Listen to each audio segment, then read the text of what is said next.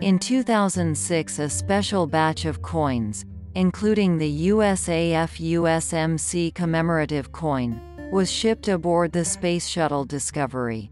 The coins were placed in a special capsule that was placed on the spacecraft's panel as a symbol of remembrance and respect for the U.S. military services. In addition, astronaut Stephen Robinson was on board Discovery, who wore the emblems of the United States Air Force and the U.S. Marine Corps on his special suit during his spacewalk to commemorate the release of the commemorative coin. Thus, the USAF USMC commemorative coin is not only a symbol of memory and respect for the U.S. military services, but also has a connection to outer space, making it even more unique and valuable to collectors.